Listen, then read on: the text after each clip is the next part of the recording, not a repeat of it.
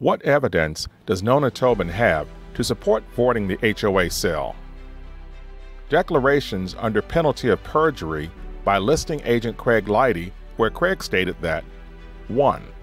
He sold 2763 White Sage for Nona Tobin on auction.com in May 2014 to high bidder at MKZ Properties, but the lender rejected the $367,500 offer. 2. Nationstar was not the beneficiary of the Hanson deed of trust. You know, during the process when I listed the property, uh, I had a conversation with Nona Tobin. Uh, Nona Tobin wanted to know who the beneficiary was of the property, whether it was Bank of America, Wells Fargo, or Nationstar. Uh, I, in communication with the uh, negotiator from Nationstar through the platform of Equator, asked that question repeatedly, and I was never given an answer uh, to the beneficiary.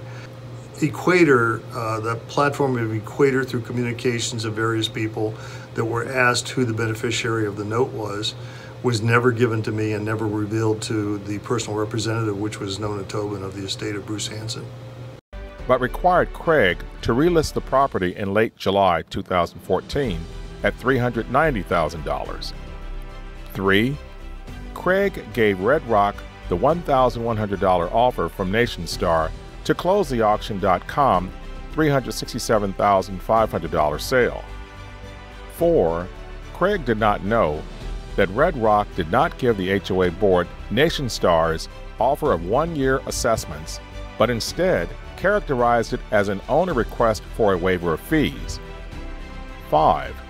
Red Rock's foreclosure file and the HOA's oral arguments contain claims that Craig requested thousands of dollars of fee waivers, but Craig did not.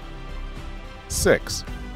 Craig did not receive any notice from Red Rock or from the HOA that the property was scheduled for sale on August 15, 2014.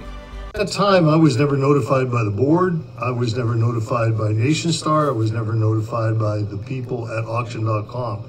I knew nothing that the sale was going on, and whenever Tom called me, I immediately called Red Rock Financial Services and tried to talk to Christy Marley. At that particular time, they said that Christy was on vacation, and you know that they they said you can leave a message. Well, I asked for the foreclosure department there for someone to call me back. I never received a call back. 7. Craig only received notice on the day of the sale from the buyer, Thomas Lucas, who informed Craig, as a courtesy to a fellow realtor, that he intended to bid on it that day.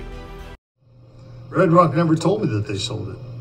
Uh, I was just told, you know, in the platform that it was over and that uh, Tom Lucas, you know, was going to be the buyer. He called me back and said, you know, hey, I bought the property, and I think it was sixty-three thousand one hundred dollars of what he bought it for. There is no verified corroborated evidence in the court record that refutes any of Craig's statements made under penalty of perjury. Everything Craig said is supported by what Nona Tobin said under penalty of perjury.